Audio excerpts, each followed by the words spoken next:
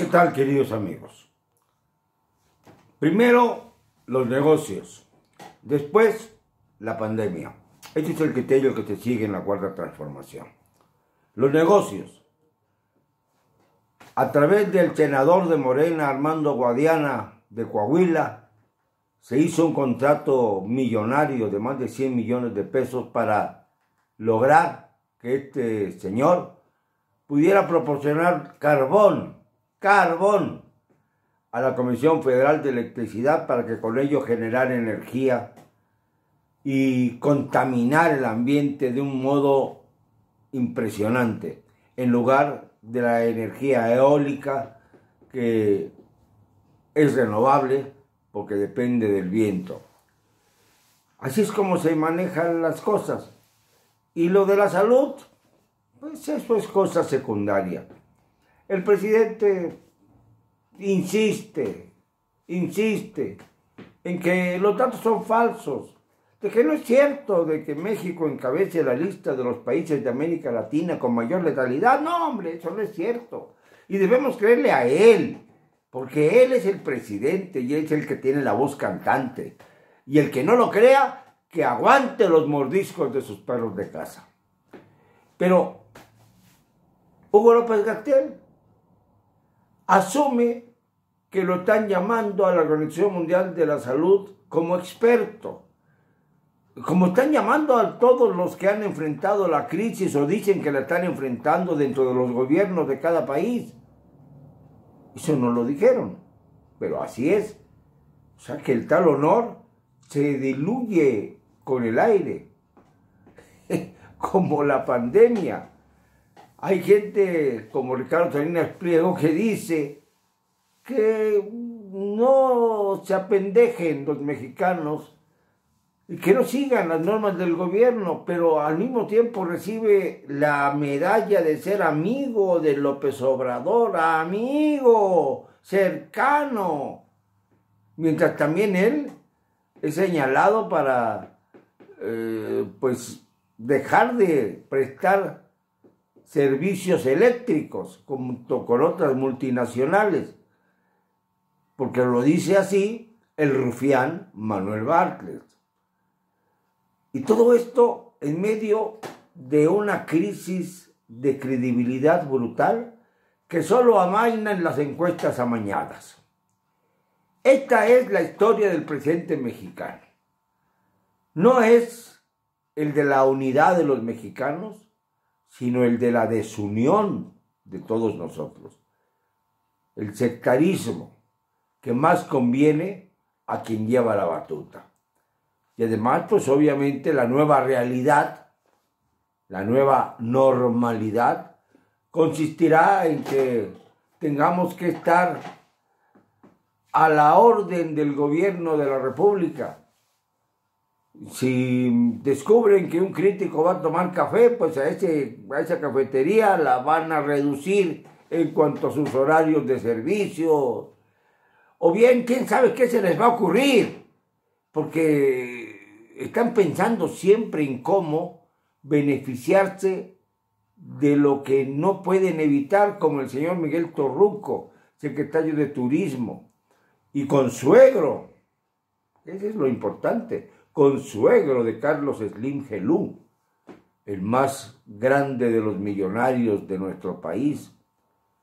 Pues bien, dice el señor Torruco que va a ser difícil reponerse en lo que se refiere al sector turismo, pero que no van a dejar a ninguna aerolínea eh, en la tierra, lo que es completamente absurdo porque claro, no se acuerda de la quiebra de Mexicana de Aviación, que aunque no ocurrió en su gobierno, el gobierno actual, sí pudo haberse resuelto ya, porque las aeromosas, los pilotos, todos los que trabajaban en esta aerolínea siguen existiendo, siguen exigiendo justicia contra Gastón Azcárraga, otro de los grandes privilegiados del sistema político mexicano, al que no toca el mentiroso presidente López Obrador, que dijo que iba a combatir a la mafia del poder y la integró a sí mismo, tomando la batuta de la mafia. Sí, el presidente es ahora el que dirige la orquesta y en la orquesta están todos los rufianes que él antes cuestionó. Y por eso estamos confundidos, porque los gobernadores dicen que no van a aplicar el semáforo de salud, que no pueden salir el próximo lunes primero de junio, cuando ayer se produjeron 501 muertes, el día más letal, de mayor mortandad de los que hemos pasado durante esta larga pandemia. Y todavía el presidente sale a decir que no estamos siendo los líderes de América Latina en materia de letalidad y de confinamiento. Esto es increíble, no de confinamiento, de infecciones, letalidad e infecciones, contagios. Esto es el verdadero rumbo que está tomando nuestro país.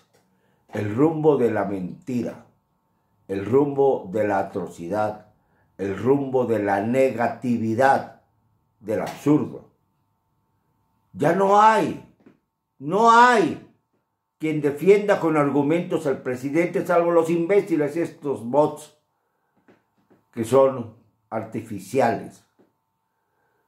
Sí, yo he dicho que no se debe insultar, pero a veces los diagnósticos generan ofensas como la que acabo de decir, precisamente porque no hay otro calificativo, no existen otras palabras. El argumento lo estoy manejando aquí, el argumento es que el gobierno no ha podido con el paquete, ni antes ni después de la pandemia, y ha creado un vacío de poder terrible que nos rodea y que nos asfixia. Un vacío de poder por la falta de decisiones. El domingo quieren inaugurar los trabajos del tren Maya. Pero si no han dominado la pandemia, no la ha domado como dijo el presidente que había ocurrido. No se ha aplanado la curva, como dice López Gatel que ha ocurrido. López Gatel, el ahora rockstar de la cuarta transformación. Puras falsedades, puras mentiras, puras hipocresías.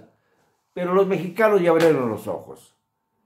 Y pobre, pobre gobierno de la cuarta transformación, porque lo que sigue para él para este gobierno no solamente es el fracaso, sino es también que la voz de la sociedad y la presión van a acabar con todos los rufianes que el presidente metió a su gabinete y que lo contaminaron también a él.